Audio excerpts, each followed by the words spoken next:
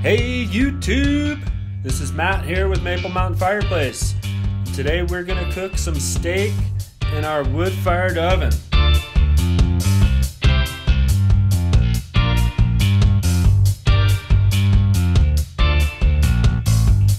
Okay, so what we're gonna wanna do is get this oven as hot as possible. So use lots of wood. I put on about five or six logs. They burned down pretty good. And my goal here was to achieve 900 degrees. And I think we got pretty close.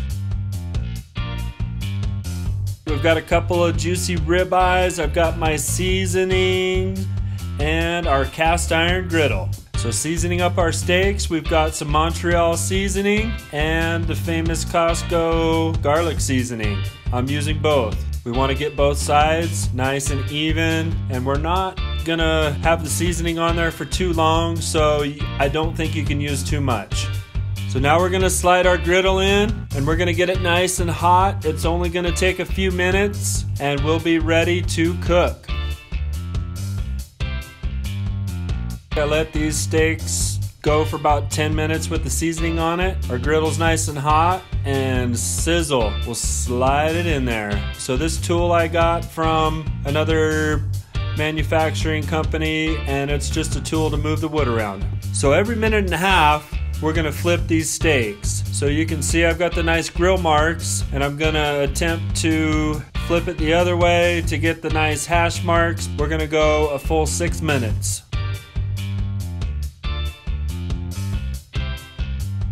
Here we are, pulling them out. Nice and juicy.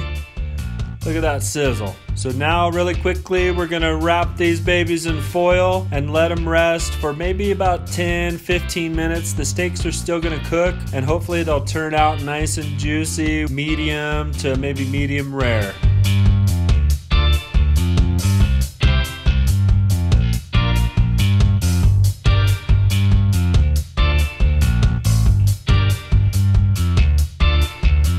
Here's the final test. Cutting them open.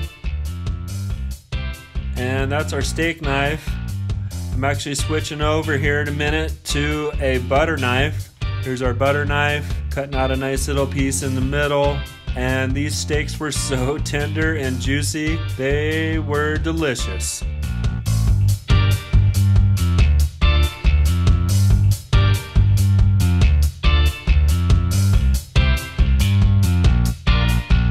Hey, thanks for watching. Make sure to subscribe for more videos like this one and also to check out our website at brickandflame.com.